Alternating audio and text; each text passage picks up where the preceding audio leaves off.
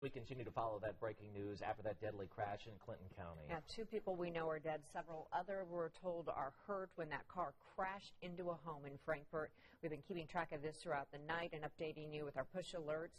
Anna Carrera is live outside the sheriff's office in Frankfort this morning with what she's learned so far. Anna. Yeah, Ben and Julia, the Clinton County Clinton County Sheriff's Office here in Frankfort is in charge of this investigation.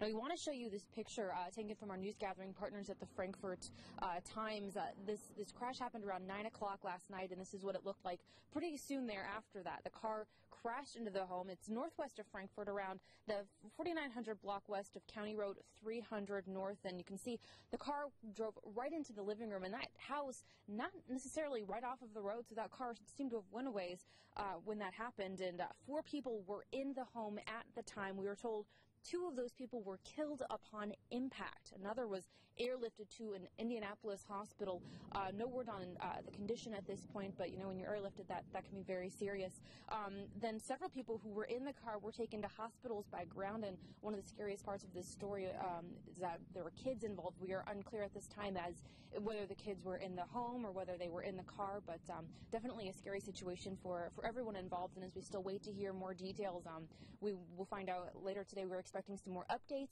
as the morning goes on as far as uh, how many people exactly were in that car. That number at this point is still unclear. They just told us there were several people inside that car at the time of the crash, and uh, they expect to be releasing the names of the people involved as well coming up later on this morning. So we will uh, continue to bring you updates throughout sunrise. Ben and Julia. Yeah, it is just awful news. And seeing that picture of the damage of that car into that home, awful to see this morning. Anna Carrera, we'll check back live in just a bit. Thanks.